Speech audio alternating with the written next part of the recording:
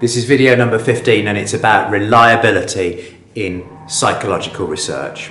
Reliability is consistency. It is about whether a psychological test gives you the same answer every time you do it, or whether if different people do the same psychological test, if they get the same answer every time. We can illustrate reliability and the related concept of validity by looking at these targets. The target on the left and the target in the middle are reliable tests because the archer firing those arrows is getting the same result every time, hitting the same spot. Now, the one in the middle is also valid. The one on the left is reliable but not valid because it's not getting the right answer. It's the same every time, but it's the same wrong answer. The one in the middle is reliable and valid. The one on the right, on the other hand, isn't reliable. That archer is not hitting the same spot every time. So, reliability is about consistency and repeatability in psychological measurement. All right, there are two forms of reliability that we need to know about. The first one is inter-observer reliability. So supposing that I get two observers uh, to measure the length of a pencil and um, providing they've both got a decent ruler, frankly, they're going to arrive at pretty much the same outcome. And that's because there's no room for opinion in measuring the length of a pencil. There's no room for um, subjectivity or bias. If, on the other hand, I ask two observers to observe a human being, then there's really plenty of room for opinion, isn't there? Uh, and people bring their own subjective opinion and bias to the table. So, for example, supposing I ask two observers to do into a strange situation uh, observing a baby and whether or not it's willing to explore a room. One person might really like babies and say, yes, that's a happy baby who's willing to explore the room. The other one might not be well disposed towards infants and might reach a different conclusion about the baby's willingness to explore. So if the two observers agree with one another, then I have high inter-observer reliability. And if they disagree with one, one another, then I have low inter-observer reliability.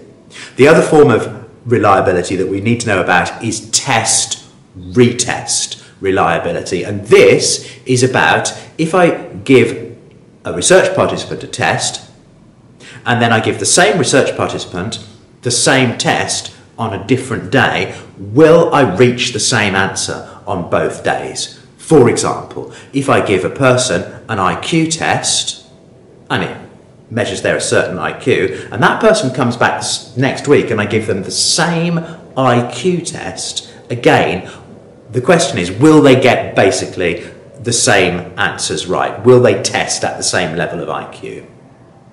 And if they do, then I've got high test retest reliability. But if the person scores as a high IQ on one day and a low IQ on the other day, then obviously the test is no good and it, I have low test retest reliability. Okay, so assessing reliability. We need to know how to assess whether reliability is high or medium or low. And for this, we use a correlation and a scattergram. So we can best illustrate this with, the, with an example. Supposing I get a class of students to do an essay, an A-level essay for me, and I photocopy all their responses and give Mr. Lemon a pile of the photocopies. Then I mark the essays independently and he marks the same essays independently without looking at my marks. We give them each student's essay a mark out of 16. So first of all, I can draw up a table uh, for what each of these students got. And we can see that between myself and Mr. Lemon, there's, there's, there's some agreement and there's some disagreement. Well, we can really get to the bottom of how strong the agreement between me and Mr. Lemon is about how reliable our marking is by drawing a scattergram. And I'm going to put my marks on the x-axis and Mr. Lemon's marks on the y-axis and plot every student's mark on this scattergram. And we can see that although there are some disagreements, there is broadly a high degree of agreement between myself and Mr. Lemon because this scattergram is showing um, a strong positive correlation. Not, not everybody. What about this student here? Uh, they've, uh, Mr. Lemon has given this one uh, 15 out of 16, and I've given them 3 out of 16. Um, so there might be some reason for that. Maybe, you know, they've given Mr. Lemon some chocolates, and maybe, um, you know, um, they've, they've caught me on a day when I'm in a bad mood or something, and I've put them in detention, and I'm not well disposed towards that student. And this kind of thing happens because I'm a human being, and so is Mr. Lemon, and we are subject, subject to bias and subjectivity, and we're not completely objective. But using a scattergram allows us to get to the bottom of the reliability between us and how objective we are. I could also do test retest reliability using a scattergram as well. And to do that, what I do is I give a group of students uh, an essay, and then I'd give the same group of students either the same or a related essay on a different date, a week later or something, and I'd plot the marks for the two essays on a scattergram, and that would allow me to assess, test, retest reliability in the same way. Okay, so that was assessing reliability, and in a moment we're going to have a look at how to improve reliability, but first it is time for this week's random psychology fact. This week's random psychology fact is According to Microsoft, humans have a shorter attention span than a goldfish. Okay, how do we improve reliability? Well, the key to improving reliability is to reduce ambiguity, to reduce the ambiguity in the questions, to reduce ambiguity in the minds of the people assessing the behaviour, to reduce the ambiguity of the situation. And the way that we do this, most of it, is frankly just good investigational procedure, just good research methods. So, for example, we want to make sure that we have clearly operationalized variables or behavioral categories. And then when an observer is observing a behavior, there is of such a clear and unambiguous definition of what they're looking for that there really can't be any mistake and that two people, when they're observing the same thing, are more likely to agree on what they're observing and therefore to yield reliable um, observations. Another thing we want to do is to reduce ex- extraneous variables, so to make sure that the behaviours um, are taking place in, in, the same temperature, to make sure that there's no background noise, um, to make sure that they happen at the same time of day, etc. And this reduces the amount of a kind of random variation in the data, and that will increase its reliability as well.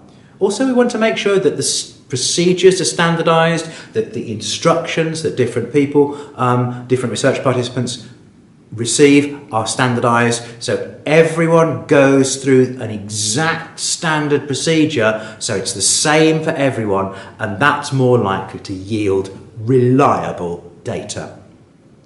Also, frankly, we should have more than one observer or more than one rater.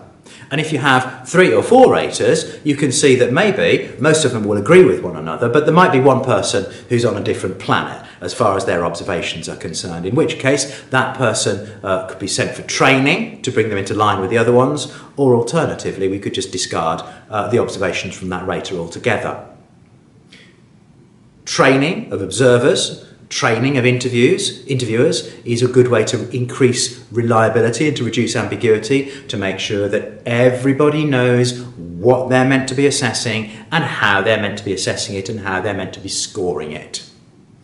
Also, another way to increase reliability is to make interviews or questionnaires more structured and less unstructured, less freewheeling, with more structured questions. And that, by the way, is also going to yield more quantitative data rather than qualitative data and to increase the reliability of the procedure. And finally, uh, we can look at a questionnaire or a test on a question by question basis.